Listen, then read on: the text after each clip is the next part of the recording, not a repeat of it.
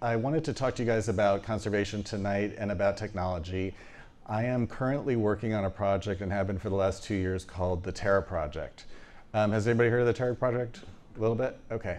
So, good, thanks.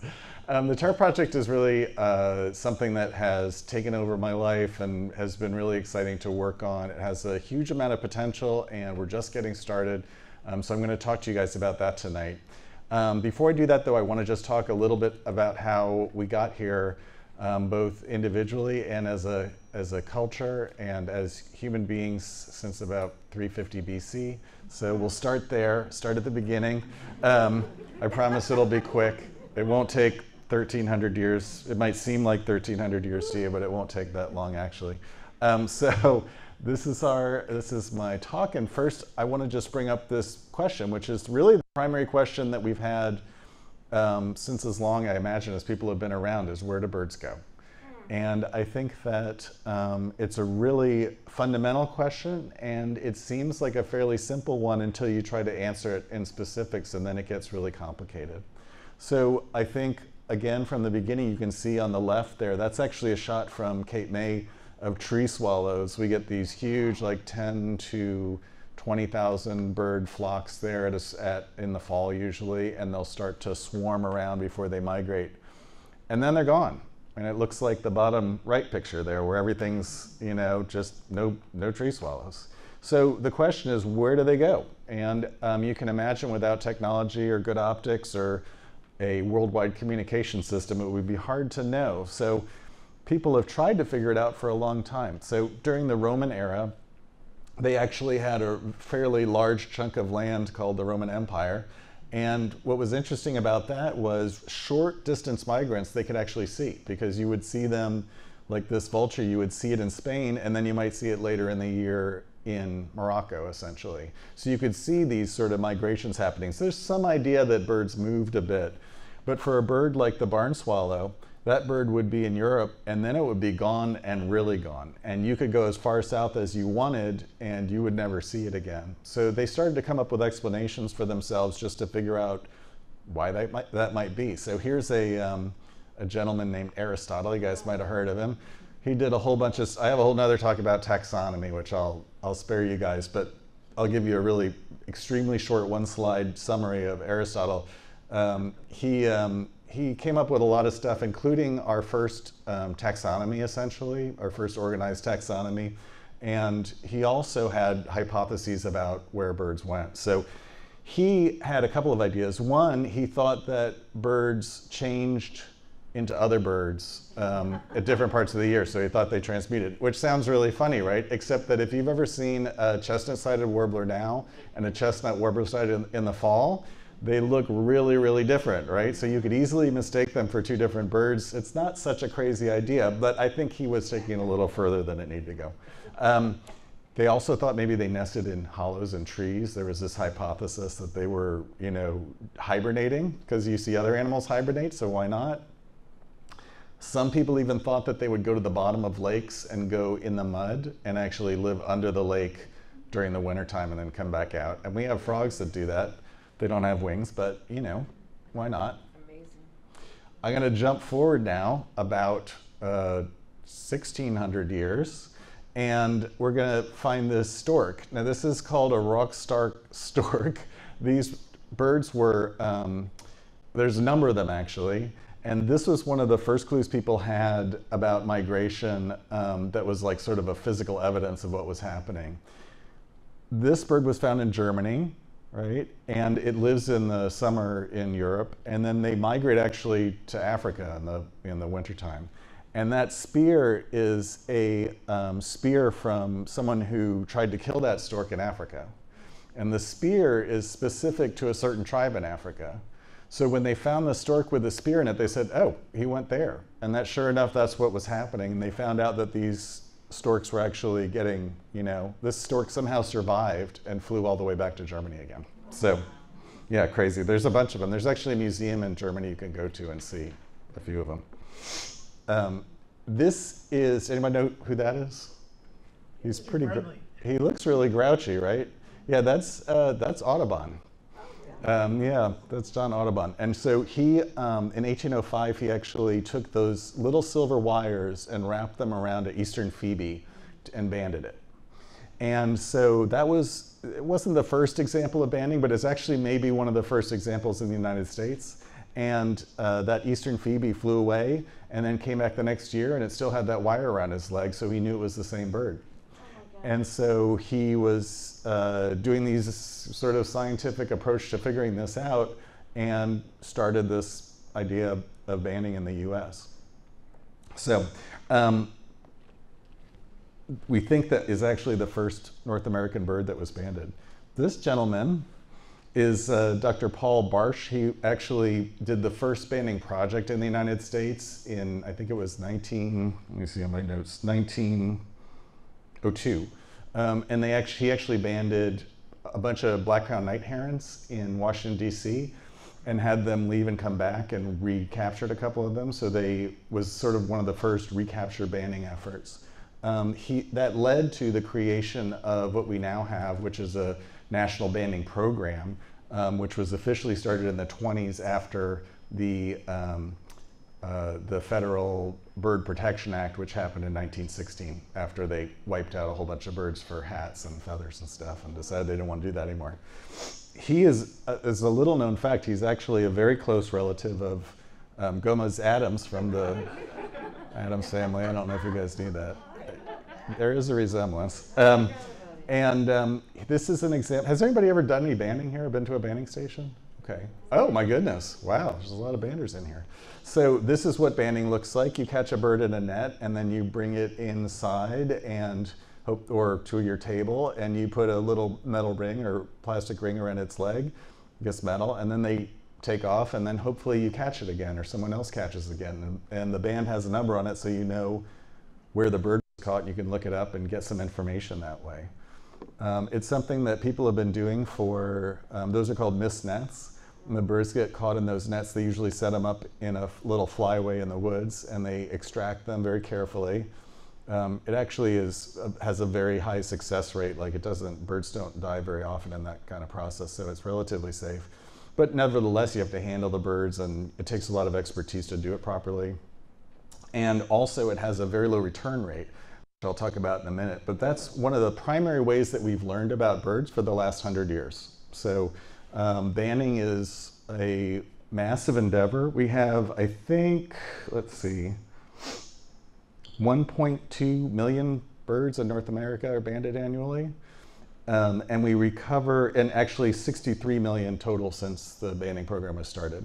So it's a massive effort by a lot of really dedicated people who care about birds and want us to learn more about them and conservation. And um, it's been the primary way that we've learned about what, where birds go and what they do. So that's one way that we figured out. The drawbacks are that you have to catch the bird. So that requires, again, expertise, permits, and experience, and you have to have people go out for hundreds of hours in the field catching these birds.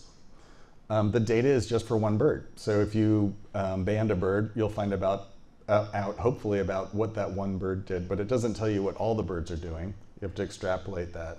And their capture rate is 7%. So oh, wow. it's very, very small and it's very lucky to recapture these birds. So you're sort of relying on volume to get enough information. Um, and also there's no route information, right? You can catch the bird here and then someone can pick it up in Central America and tell you it's there, but you don't know where it went in between. So you don't know what its um, feeding grounds are, what its stopover points are, which are actually really critical to know about because in terms of conservation, we want to protect the areas that birds use when they're traveling. Um, there's a number of birds we believe now who have uh, molting grounds in addition to their final stopover in their southern wintering grounds. So, you know, there's multiple areas we want to protect and you don't really learn about those this way. So then we got this thing called telemetry, and that's just using a radio signal to find an animal, right? So um, you've probably seen this where you have, has anybody ever done this kind of work with a telemetry? You have, so you have the receiver and you walk out there and it beeps, and as it beeps more, you get closer to the animal. And you can use this for studying um, uh, especially mammals and, and larger animals you can use it for. And actually it was you know, originally used on large animals because the units are large. So you don't have tiny units for telemetry that you can put on birds when it was started in the 50s. You had to use, you know, larger units, so it was for bigger animals. But you could use it to track, I, I knew someone who was tracking um, uh, rattlesnakes in the Pine Barrens in New Jersey, and so they could actually see where they went. You know, they would go, you know, actually surprising distances. They would have to go out and find them. Um, again, very time intensive, um, um, but effective for um, you know um, smaller scale studies of movements, local movements of animals. Then we have this uh, project where we started to use the same telemetry but on a more miniaturized scale. So over the years, we were able to make radio transmitters essentially. And we've gotten them now to the point where this is a, there's a hummingbird on the upper left with one on its back. It's actually a solar panel on the back. Those um, little devices weigh, it's literally just a couple of grams. You know, they can weigh maybe five grams. The rule for birds is you don't want to put anything more than 3% of their body weight on them because we found that if you do more than that, it stresses the animal to the point where it can affect its, you know, life. So you don't want to do that. So you have to use these teeny tiny things, but those things are solar powered and they have a little antenna off the back. So when that bird goes out, anytime he passes one of these within you know a certain distance of one of these Motus stations, Motus is just the name of the project. They're radio receivers that you set up. We have one actually here at McGee, which picks up birds. Um, it'll ping off of it, and then we'll know the bird's there. And when we do that, we can get so much more detailed information about where the birds go, right? Um, because you can actually pick them up in all these different places where they might pass. Now, the problem is that you have to have a lot of Motus stations out there, right? Because if you only have two Motus stations, you really have to get lucky to have the bird go. So you really want to have hundreds of them right now or thousands. Right now, there's about 1,300 Motus stations out there. That number's continuously growing. And the number of animals with these tags on them is 31,000. So um, it's, and that's also growing quickly. So um, that's a way of studying animals and how they fly in a much more specific way and using technology to see where they go um, more accurately. Now there's something else you can do with this, which is you can actually store data on these little devices and they can actually ping back data about where the bird was more specifically, you can actually use things like sunrise and sunset to help determine location. So if it's reading the amount of light that it's receiving, it can actually um, collect data like that. So then it can actually ping back to the Motus station even more information about where the bird has been. So we've gone from where do they go? I have no idea. To where do they go? I think they go south. To where do they go? Oh, they go to this specific place south. And now we're getting to the point where we're saying, um, where do they go? They go south and they also take this route, right? Which is really, again, really important information and stuff that we want to know. It's not a given, by the way. I mean, this is the thing is, feels like, this kind of science feels like it's, uh, it's done in a way, you know, like we figured out how to radio tag birds, so now we know everything. It's actually not at all. um, Steller's eider is a bird that we had no idea where they went to until about 20 years ago. Um, and, that's a really interesting story. They actually had a couple of they they put radar tags on some birds and had them take off and they would be in Alaska in the summer, but in the winter they would go away and nobody knew where they went. I mean, this is in the 2000s, so we and we still didn't know. And some people working up there actually put a couple of bands on these birds. I think they put maybe a dozen bands on birds. Only two of those bands kept working. The batteries died on all the rest of them. And um, they all stopped for a while. And then a couple of them turned on and sent out a ping signal. And it was in the middle of the Bering Sea. So they said, well, that can't be right. But they got a plane and they flew out there in the Arctic winter. And sure enough, there was the majority of the world's Steller's eider population in the middle of the Bering Sea, actually using their body heat to create openings in the ocean water and feeding off all the mussels and bivalves that are there and living there through the whole winter. So incredible survival story, but also just shows you Connecticut warbler is another one. We don't really even know now exactly where they, I mean, they go to the Amazon basin, we believe, but we could use more information about exactly what they're doing. So, um, so it's not a it's not a finished project yet, and that's part of the reason we're work, still working on it.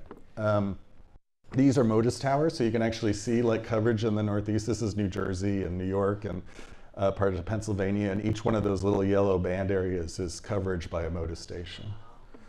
Um, now satellites, this is pretty cool.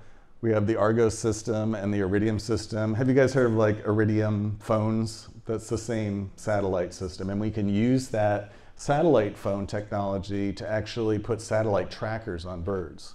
So that redhead there actually has a satellite on its back. This is a satellite tracker that will just ping up to a satellite its GPS location wherever it is. So then that's kind of amazing, right? Because now you know exactly where the bird is, and as long as you can get enough pings back, you know, as long as you have enough battery power to keep sending signals, you can watch exactly where it goes and how it behaves. And that's pretty incredible technology. Um, there is a, there are a few drawbacks to it. There's a corollary to it, which is cellular, and actually that's Mike Lanzone. He's one of the co-founders of Terra. Um, he owns a company called Cellular Tracking Technologies, and they make these trackers. Um, and they got they sort of made their bones making trackers for golden eagles, which you see right there, and they use cell towers. So they figure, well, instead of using all these radio towers that we have to put out ourselves, why don't we just use the cell network?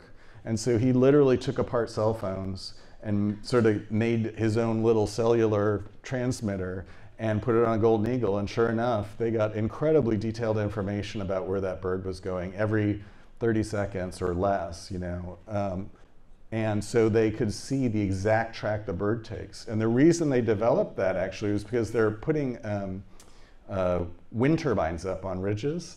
And so they needed to know um, where they should put the turbines that weren't going to disturb the eagles, because the eagles and other raptors use those ridges for migration. They need to know that the eagles aren't going to be following the same path as where they're going to put the turbines, right? So they, but the satellite transmissions and the other stuff they had then didn't give them enough detailed information. They would just give you a ping like every five minutes or 10 minutes. But the problem with that is the bird could have traveled, you know, miles and miles in five or 10 minutes. With this, we could actually see the exact path they take along a ridge. So, like, that's one of the paths. You can see the bird actually following the ridge going up, following a thermal, spiraling on the thermal, and then coming back down again. I mean, it's really incredibly detailed information, and that was super helpful for figuring out that problem. Mm. So, we continue to make those cell trackers at CTT. Oh, this is actually a cool video. This is um, a pair of golden eagles, right? And this is a real, a real track that we had. And we were, so we can follow one bird. And then that other bird is also a golden eagle. And these two birds came up briefly, met each other, and then did this kind of dance together, followed a spiral up a thermal here and then split apart and went in other directions. So, so amazing, right? I mean, you can basically see the bird in the air. it's, it's really incredible. So what are the draw? I mean, this seems great, right? Like this sort of solves all our problems. We just put these satellite trackers on everybody and we'll know exactly what's going on. Well, not exactly. For one thing, um, they take even more effort and expertise than banding, right? So you, you have to create these tags and you have to know how to put them on these birds without harming the birds. You also have to catch the bird and put it on them. Um, they use these big, for the, um, for the golden eagles, they use these giant bow traps or sometimes even these um, explosive traps that fire like sandbags attached to a net and it like goes sort of like what you would imagine in like a cops and robbers movie from the 70s or something. They have like a net gun or from or like um, Planet of the Apes. You ever see them shoot them with a net gun? It's like that. Um, so it's, it's not easy. And the tags are super expensive. They range from 200 to $5,000 a piece. So you can't just put them on a whole bunch of birds easily. You have to be fairly selective about it. And again, the data is just for one bird, right? We're just following one bird's behavior, and then we have to sort of extrapolate from that. Okay, I guess that's what all golden eagles do, but you can't be sure of that for sure. Um, so that brings us to another big development in technology, which is um, community science. And that's actually what's happening right here in this room is you have a bunch of birders And they said, well, we've got all these people in the field looking all the time, right? People who are excited about birds and want to tell other people about them. And you've got them finding birds for us all over the country and the world. So if they just report that data, we're going to have essentially millions of sentient trackers walking around picking up birds for us. And that's what eBird did. So eBird, you know, got started probably, I don't know, was it 20 years ago about? Something like that. Um, and uh, maybe less. And has since grown into this huge project, right? Where, how many people here eBird? Oh my goodness, wow. Okay, that's a lot of people. So, and you know what, if I asked that six or seven years ago, it would have been a third of that number. So it just continues to grow. And um, it's a great way to harness um, people's activity. Um, and so there's all these apps that will let people, um, that involve people in birding and help them contribute to science essentially. And there's a lot of birds, a lot of apps that will teach you about animals too. I slipped in the Warbler Guide app there. Um, and um, iNaturalist, you guys use iNat, everybody use iNaturalist? If you don't use it, you should get it. It's incredible. You can take a picture of anything, bird, animal, plant, bug, butterfly, foot, maybe not your foot, but if you send it in, if you just press a button, it'll tell you what it thinks it is. And it's remarkably right a lot of the time. And if it's not right, it'll get you close. So like I use it with trees and plants because I don't know trees and plants very well and it helps me at least get a, a start at understanding them. You know, even if it's not exactly right, it'll say, well, like this is a bitter root, so it's in this family, and you can, you know. Um, Merlin has just gotten better and better. Um, that is incredibly good at IDing photographs, and it's now gotten very good at identifying sound. So you can actually get Merlin and turn on Sound ID, and I'll just show you what it's hearing as you walk along. So um, using these technologies, we've gotten, one thing that does, by the way, is, and I'll bring this up again in a second, but one of the big drawbacks of community science is you don't know who's doing the reporting. So when you talk to, when I, in the past, when I talked to the eBird guys, they talk about people as sensors because that's what they are. They're each individual sensors, but they're unreliable sensors because you don't know if someone just started birding or if someone's been birding for 40 years and is, is an expert or if they're drunk or if they're if it's nighttime and they're stringing. You know, everybody it happens to everybody. Um, so we don't know exactly what people's ability level and what the conditions are, so we don't know if the data is right. But they can do a lot of statistical parsing and stuff that actually corrects for a great deal of that. Uneven coverage. So eBird only works where there are eBirders. So if you go to the middle of Montana, there might not be as many people birding as there are in Cape May, where I'm from. Cape May is heavily covered. Um, Data is not always reliable. For example, you might not know what that bird is, right? But you might report it as something. Uh-huh, uh-huh. I heard the answer there. And um, requires uh, active participation expertise. So again, like you don't know the level of expertise of the person who's doing it. So um, not a problem in terms of birding. I mean, everybody's at different levels in birding. And I think one of the nice things about birding is that it can be fun at so many different levels. But um, it is a problem if you're trying to use people as like a, a sensor. So I'm, this is a funny, this is going to be a funny slide because I, it's a question I wanted to ask, but I think that the answer is going to be skewed here. How many people have banded a bird here? Okay, that's supposed to be like one person raising their hand, not like 35. Um, how many people have put a satellite tag on a bird? Uh, damn it. Somebody back there. All right. Um, how many people have ever heard a bird? All right, there we go. So now we get to bioacoustics. Okay, so um, as you probably, as you may or may not know, birds make sounds, and each species makes its own sounds. So for example, redstart, saw a bunch of those today. Oh, yeah. Blackburnian warbler. It's a green heron in flight. And what's this guy? Oh, dickcissel. Okay? So those sounds are all different. First two sound kind of similar, but warblers do that. Um, the um, those are all calls that birds make when they're flying. These are called night flight calls or flight calls. And so when these birds are in the air migrating, which usually happens at night, but can also happen during the day, you'll hear sounds that they make. If you know how to listen to those sounds as a person, you can know what birds are flying by. And I can do it a little bit. There's other people like Tom over there, or like Michael O'Brien in New Jersey, and other expert birders, Pete Dunne, and people like that, who can do it very reliably, and they can tell you exactly what's flying over at all times, even if it's just little cheeps and chirps, right? So the sound is a gift that the birds are giving us that we want to utilize, right? We want to use this. Um, they're basically telling us who they are when they fly by. So if we can harness that, well, we can create a huge network of identification that's basically 100% hopefully you know in the 90s plus percent correct. So very accurate sensors um, and tremendous coverage too because it sounds. So it's just anything within a certain distance. It's not going to be blocked by a tree or obscured by something. If you catch that sound especially if it's being analyzed by a computer you can often know what that sound is going to be um, you know 100% of the time now this is a funny picture. This is actually oh some Cape May people. Um, I believe is that David LaPuma? No. Anyway, uh, Sam Galick, Glenn, uh, Glenn Davis, uh, Christina Davis, and some people sitting around a, a table in Cape May. This was in the 2009, I think, 2009 or 10 um, making these bucket receivers. Anybody make one of these or have one of these? Yeah, they're pretty cool, right?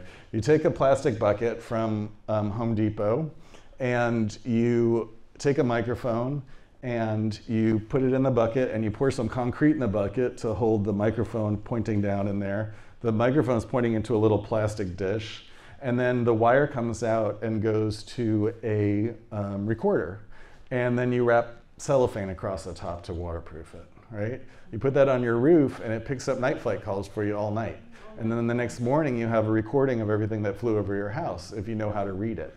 The problem is that you then have to read it. And you have to initially read it in real time, which means you're listening to this tape coming back. I mean, actually, I talked to someone in really early days who was doing, they're actually doing it on like uh, reel to reel.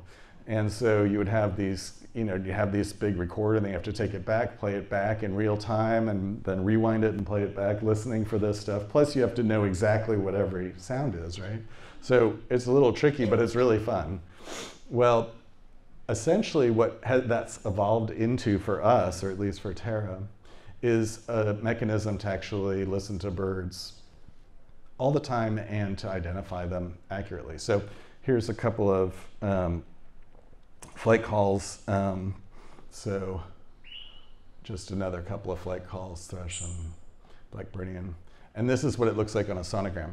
So you can see in the picture of the sound, this is a picture of sound, um, the different um, signatures that these make, right? So this actually makes it a little easier to understand, I think, because you can very much see the difference between these, right? They all look different. Um, you know, blackbird, song thrush, moorhen, oystercatcher, whimbrel those are all different patterns. So if you just look at those patterns, you can say, oh, well, that pattern's Whimbrel, so you just put a label on it. So that brings me to Terra. So like I said, I've been working for a couple of years on this project. Um, it's actually, I have here, this is a Terra. So this is the final design for Terra. This is the only prototype we have right now. Um, we're getting the cases printed. And what it is inside, just have a hollow inside, right? So this doesn't have because the guts that we have for the prototype are too big to put inside the case. The ones for the real will fit inside the case, but you put the guts in there. We have a microphone on either end here, like a little small mic that sticks out the sides, so you get a stereo effect. We've got these little wind blockers that go in here. So it's a combination of um, fish filter media and something very high tech called spacer mesh. Um, this is a really cool fabric. It's in a family of fabrics that are called 3D fabrics. They're actually woven in three dimensions. So you have an outer layer, an inner layer, and in between you have a whole bunch of fibers woven between. It's all woven together. And so this will block wind, but it won't block sound. which is really cool. It's also kind of waterproof. So that goes here. There's one on each end. So the microphone goes here and the wind blocker goes on top. This little guy goes on top, so it'll look like that on both sides. And then you just plug it in and stick it in your yard um, or on a wall. And it'll listen 24 hours a day and it will pick up sounds. And so it will listen for bird sounds specifically. And what it does is it's going to take those bird sounds and extract them. So if it, it only ex extracts snippets of sound for ana analysis. So it's not recording everything continuously, it's just pulling stuff out. Um, it pulls those snippets out, sends it to a server and gets them analyzed, and it tells us what the bird is, right? Wow. So it's pretty cool. It's just like those, um, those pots that we put out, those buckets we put out a decade ago, except that it's automated and it's convenient and small. Um, and so this is how it works.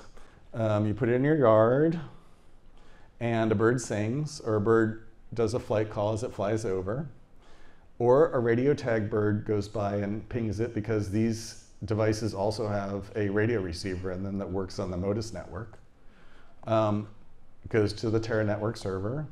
The data is sent to a central database and processed with all the other Terra data from around the world. And this is actually, we have about 2,000 orders for Terra right now, including orders in the UK and Europe, Australia. So it's not just a US phenomenon. The majority of our orders are here right now. So you've got all these Terra devices. And then the ID data is shared with the Terra app, which is what the user has, and are also sent this data available in a big database for people. Um, and then finally, it streams the, so the sound through your own secure network on your app so you can listen to your yard 24 hours a day. So um, my wife, Rebecca, over here in a matching shirt, um, and I drove here on Friday. We intended to leave at about 8 a.m. because it's a nine and a half hour drive. We left at 3, so we got in at 1.30 and um, I was pretty wound up from being driving for nine and a half, 10 hours. And so um, I couldn't sleep, so I put the app on and um, listened to the stream from Cape May.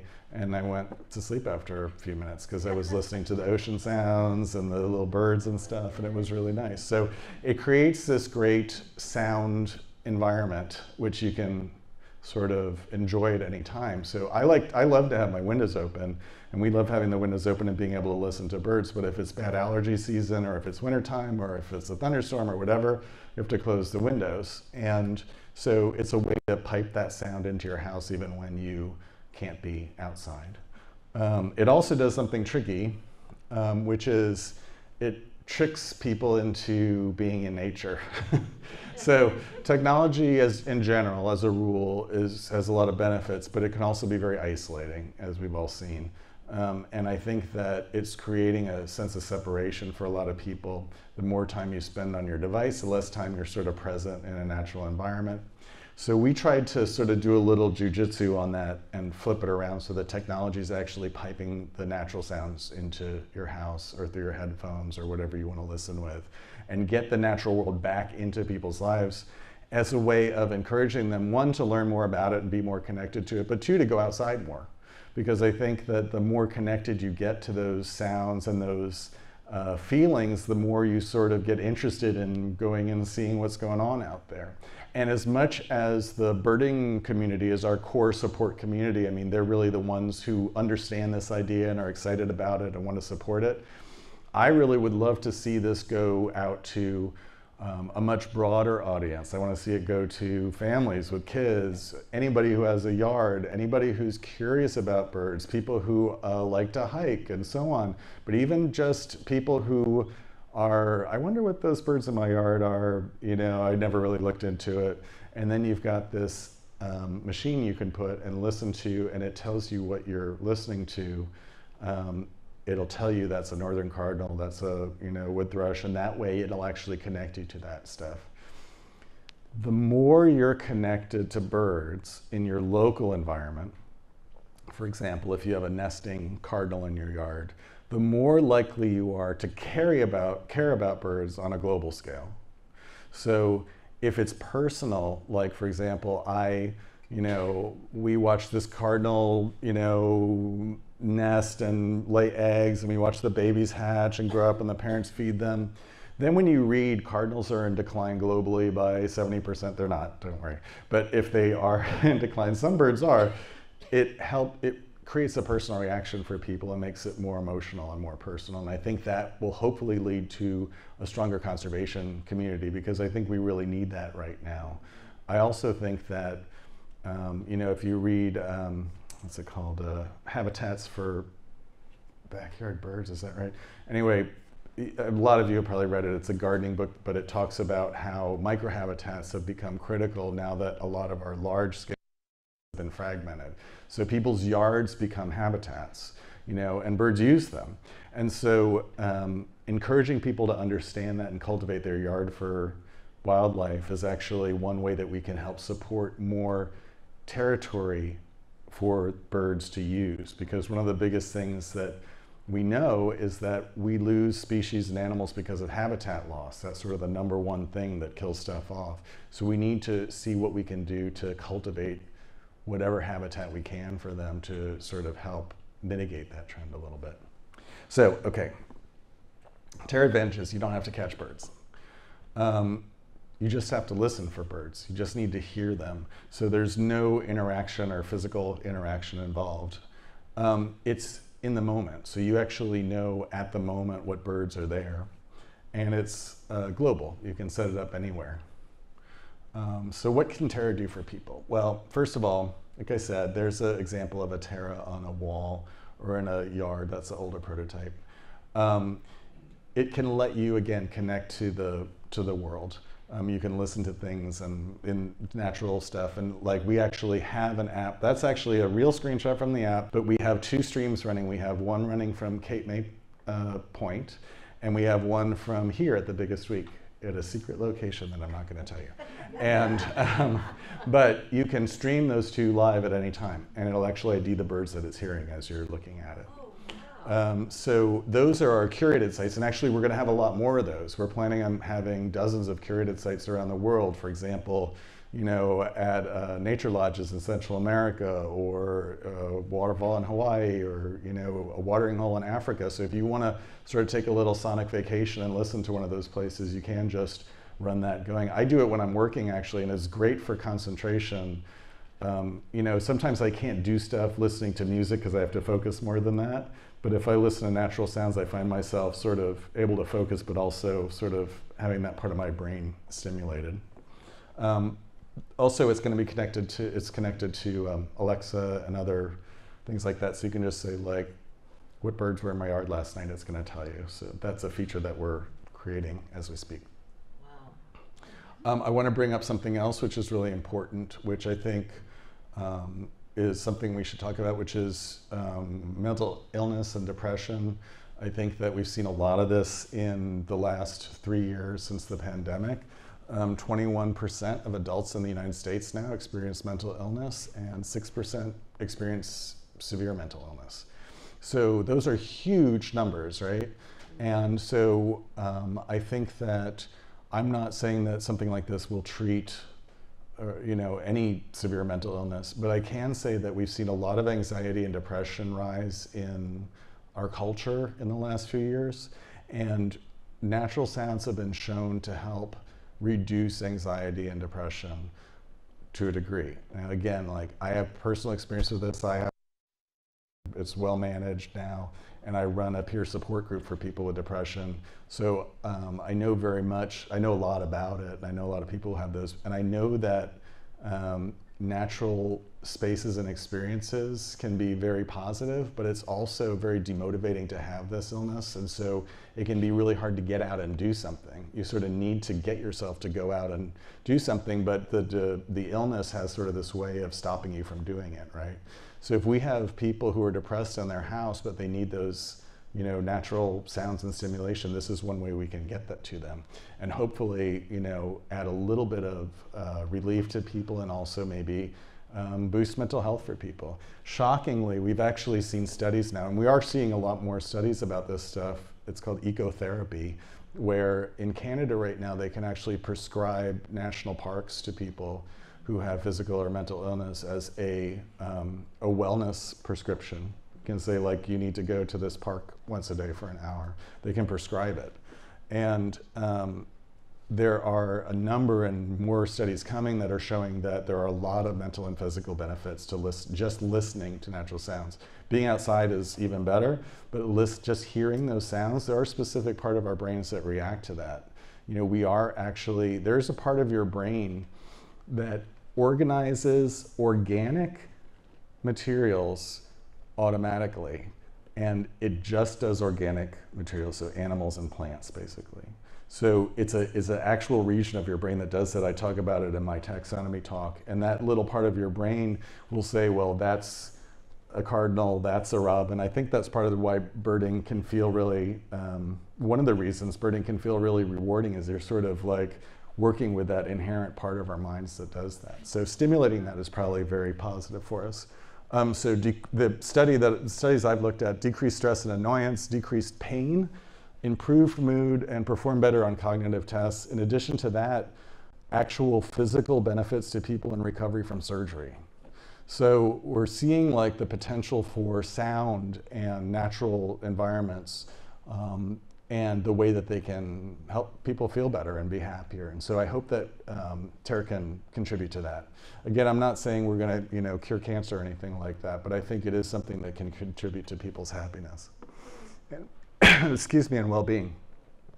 Um, as far as conservation goes, using bioacoustics like Terra, we'll actually be able to get much more accurate population estimates of birds. Right now, our current estimate, our best estimate as of last year when I researched this, is the number of birds in the world is between 50 and 430 billion birds. So it's a little wiggly, that number.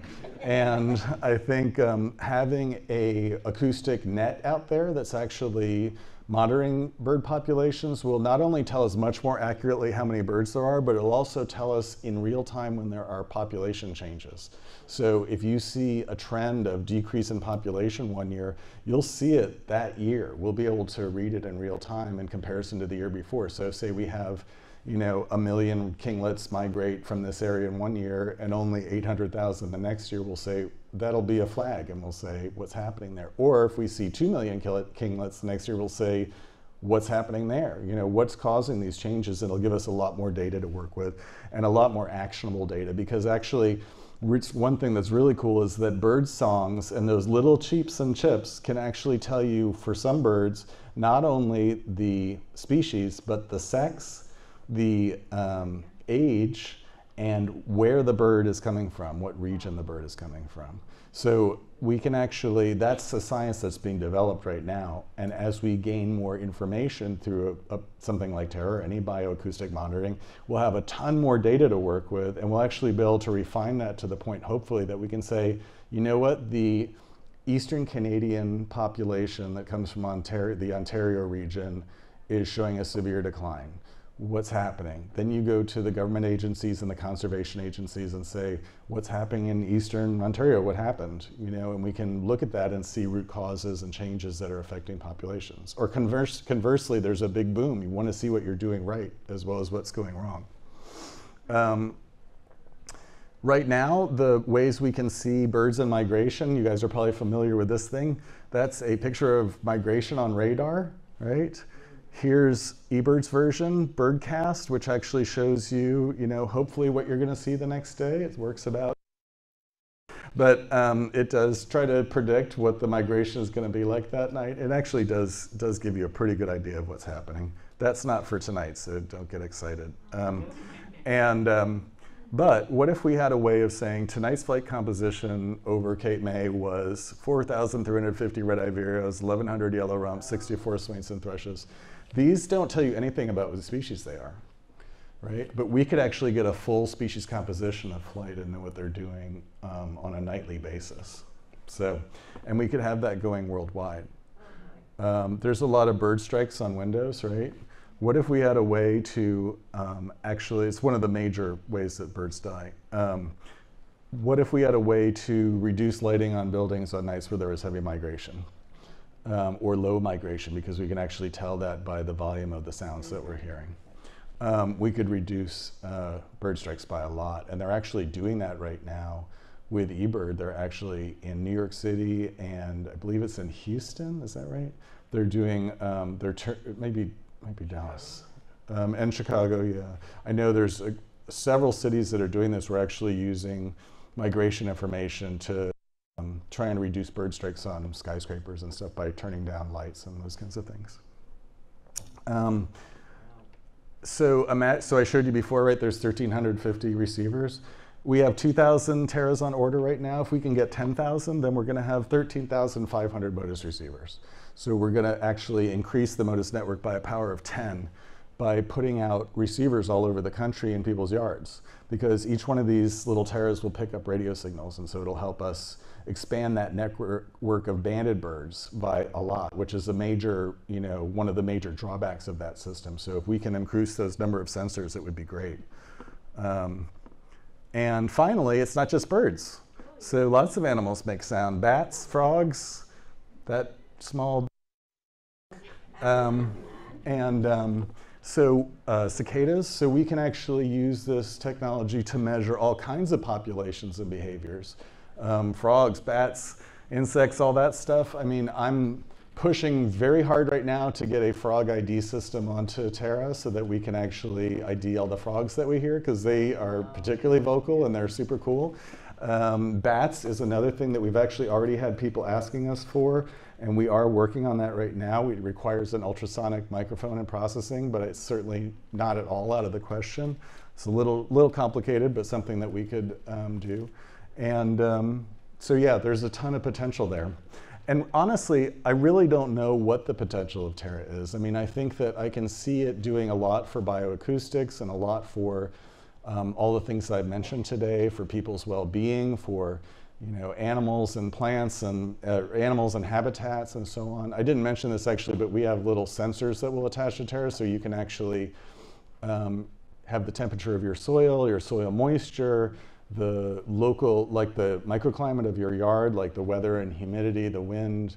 We can do flooding um, and uh, amount of sun in spots, like so you can basically like garden sensors and that kind of stuff. That information can also get leveraged for us to see what people's habitats are doing and how the birds react to them.